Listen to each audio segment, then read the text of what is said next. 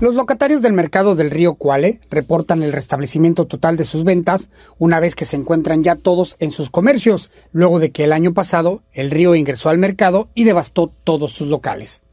De ello habla Alfredo Figueroa, locatario del mercado del Río Cuale. Ya estamos al 100% trabajando todos los compañeros. Eh, las ventas sí se mejoraron ya bastante con la venida de vacaciones del turismo nacional. Eh, se levantó bastante ahorita. Ya estamos, ahora sí que tuvimos un repunte de, de aquellas temporadas buenas. Entonces, este, nos fue muy bien este año porque ya estuvimos en nuestros locales y sí estuvieron mejor que en el Parque Hidalgo. La verdad, se vende muy bien en el mercado. Eh, este, estuvimos a un 100% ya de ventas como, como debe de ser. De la misma manera, los locatarios están incursionando en el mundo digital con el estreno de su página web, en la cual se pueden promocionar sus productos y servicios, pudiendo así competir de una mejor manera. Mira, estamos ahorita en un proyecto de, promocionarnos mediante redes sociales y, actualizarnos. Entonces, este, lo que es la página, en la inauguración estamos este, pendientes de que sea entre el martes y el jueves, donde se va a hacer la inauguración con el, con el señor alcalde.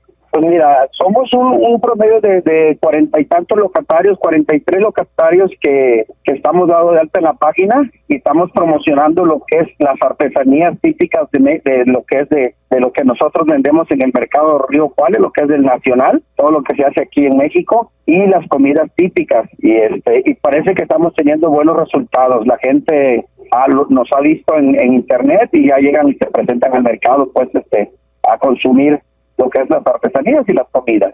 El mercado del río Cuale es un inmueble ubicado en el corazón de la ciudad, el cual alberga a poco más de 100 comerciantes que por años han estado comercializando artesanías y alimentos típicos de la ciudad. Desde Radio UDG en Puerto Vallarta para Canal 44, Javier Frías.